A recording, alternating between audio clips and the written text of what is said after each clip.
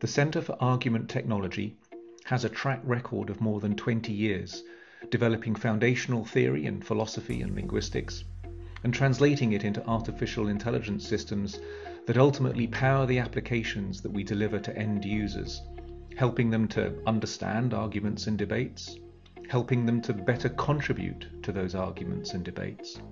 helping them to succeed with their own arguments more often, and helping them to make better decisions based on higher quality evidence gathering and reasoning. Our software is used in domains as varied as law, intelligence analysis, and e-democracy, as well as going out to broad audiences of the general public.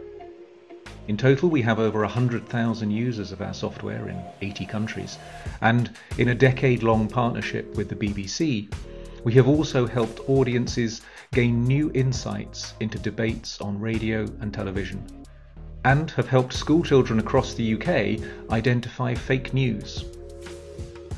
We were amongst the first labs in the world to tackle the task of argument mining, that's the automatic recognition of reasoning in discourse. And following partnership with IBM, we are now leaders in this research area that is enjoying an explosion of interest. Our tools for argument analysis are amongst the most widely used, and we curate the largest datasets of analysed argumentative discourse currently available. We are the only lab in the world equipped with hardware and software to be able to analyse debates in real time. And our infrastructure is the result of a 10 year research effort that we spearheaded to develop an international standard for argument representation in AI.